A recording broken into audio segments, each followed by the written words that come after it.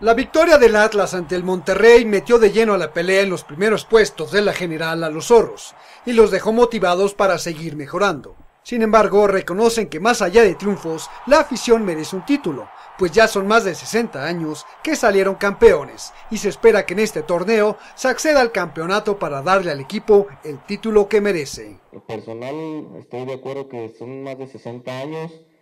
que el equipo necesita un título sí o sí, con la forma que sea, ya se intentó una forma antes y no ha dado resultado, hoy se está intentando otra forma,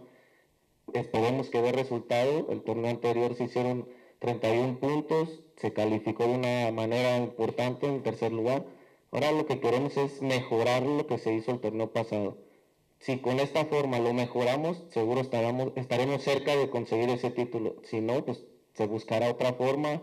o se buscarán otras maneras de, de llegar al título, porque al final de cuentas lo más importante, lo repito, es el resultado y darle a la fiel un título que ya se merece y que sin duda están soñando y esperanzados, al igual que nosotros que surgimos de Atlas. Para Juan Pablo Rodríguez, mediocampista surgido de la cantera rojinegra, está claro que el único camino para sumar es mantenerse ganando en cada jornada, no importando las formas en que se logre a pesar de que los aficionados no estén de acuerdo con el estilo de juego de los rojinegros en este torneo. La afición no se ha acostumbrado a la forma de jugar de Atlas. No va a ser diferente por lo que te digo. El torneo anterior hizo 31 puntos, calificó en tercer lugar con esta forma.